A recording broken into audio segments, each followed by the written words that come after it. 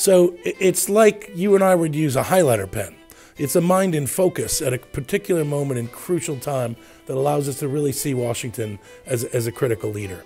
Welcome to the Secrets of Washington's Archives. In celebration of the 10th anniversary of the George Washington Presidential Library, we're bringing you up close and personal with the treasures from his library. Today, we're talking about one of the most important books of Washington's presidency, his own copy of the Acts of Congress. Not only does this book contain Washington's personal copy of the Constitution, but it also holds his notes on what it means to be president.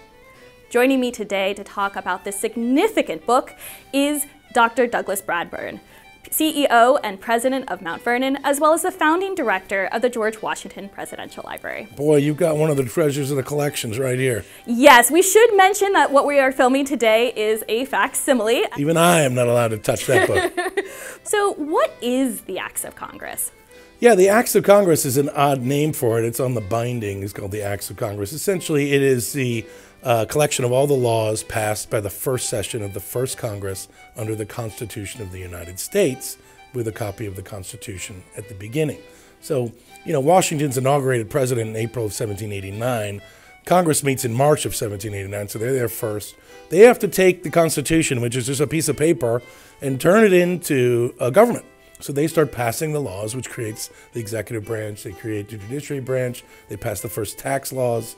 And of course, at the end of that, they also passed the resolutions that we come to know as the Bill of Rights. Uh, after that session ended in September, uh, they you know brought all their laws to be printed.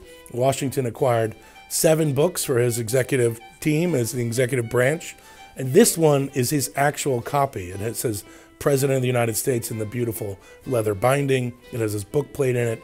Uh, it was his own copy of those first laws under the Constitution.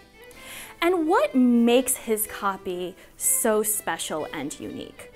Yeah, well, you know, he's creating this office of the presidency, which is a new thing in, in the world, really. I mean, how do you have a head of state uh, that's elected and, you know, what kind of powers are they going to have?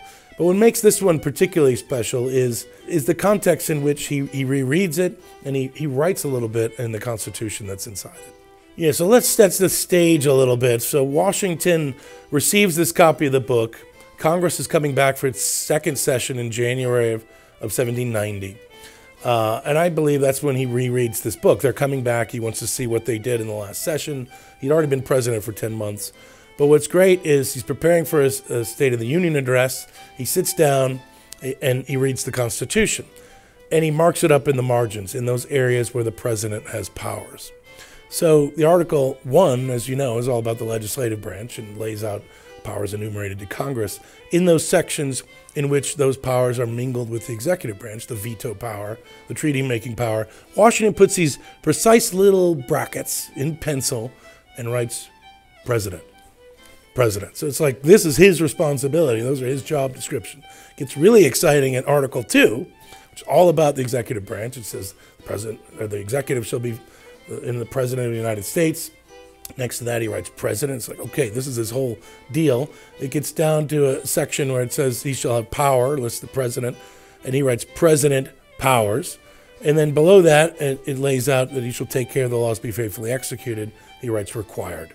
And what I find so interesting about this in particular is that unlike some of the other founding fathers, Washington did not often write in his yes, books. Yeah. So the fact that he is writing in this one at such a crucial yeah. moment tells us just how seriously he was taking his duties at the time. That's a great point, Anne. I mean, you know, he's binding himself to the rule of law.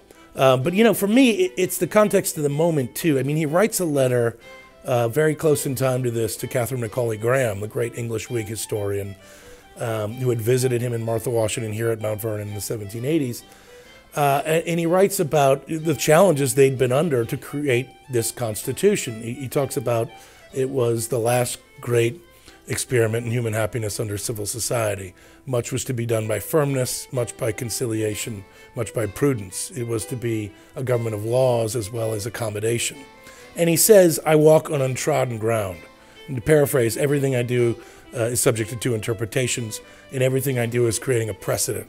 So he's thinking about the precedents that he's creating as he's focusing in and, and, and his mind in this in this document. So that really, I think, brings the power of the book and his reading and his moment together. It's an incredible specimen of America's greatest leader's mind at work in the moment when he's creating the office of the presidency. And it's so interesting, too, that this happens right at the beginning of his presidency. He the other thing about the, the Constitution and the presidency in Washington is so critical to understand. You know, Article 1 limits the powers of Congress. They're enumerated, there's powers retained by the states. Article 3 lays out the judiciary branch. It's limited in what federal law can do. Uh, it hasn't even been designed yet by Congress, and it's going to be controlled. But the executive branch is quite expensive. I mean, he's there 365 days a year, and the powers are somewhat vague and have the potential to be abused. And of course, famously, when these, you know, these former revolutionaries who overthrown a monarchy, the framers were asked, "Why did you create such a powerful executive branch?" He said, "Well, we might have restrained it more if we had known that the first president would be George Washington." So whatever restraint goes into that office uh, from its founding comes from the, the attitude and perspective of Washington. And what can we today learn from the legacy of Washington and his presidency? Yeah, I mean, I think there's lessons, great lessons to learn. I think that quote from Catherine Macaulay Graham sometimes firmness, sometimes conciliation, sometimes prudence. Leadership is an art. The question is when to be firm, when to be prudent, when to conciliate. And so I think those lessons are still there to be learned. Um, and, and there's always more to be learned about an extraordinary eight years. If you want to learn more about George Washington's presidency, the first Congress, and about this copy of the Acts of Congress, be sure to check out our podcast companion, also titled The Secrets of Washington's Archives, available wherever you download your favorite podcasts. Go to georgewashingtonpodcast.com to learn more.